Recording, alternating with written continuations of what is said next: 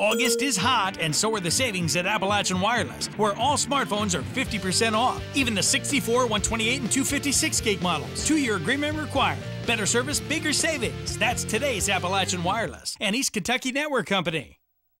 Roughly a month ago, the Pikeville Police Department asked for the public's assistance locating a man wanted for burglarizing several vehicles in the Bowles Addition.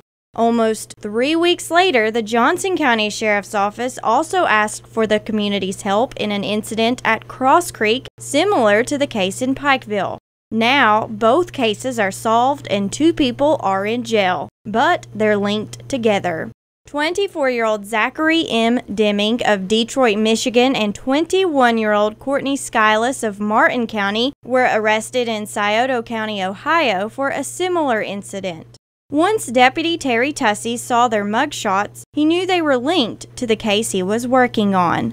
During the course of doing an interview with EKB, you had actually told us about the break ins in Pike County. So we started checking in on that. You gave me the information of the officer. I called him. We started working together on that. Saturday, I received a contact from the sheriff. He had sent me a news article from another agency about these individuals being picked up in Scioto County, Ohio. Upon looking at the male, he looked familiar as possibly the same suspect in Pikeville and our case.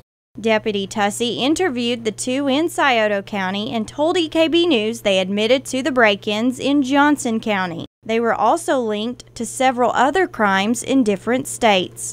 It stems, from what I understand, uh, from possibly Texas all the way to Michigan. Both agencies are happy the case can come to a rest with some answers.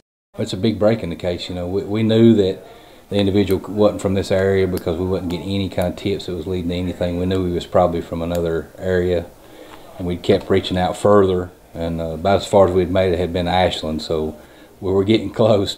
As of now, the two are only facing charges in Ohio. Charges in Kentucky out of Johnson and Pike counties are pending. In Paintsville, Shelby Still, EKB News.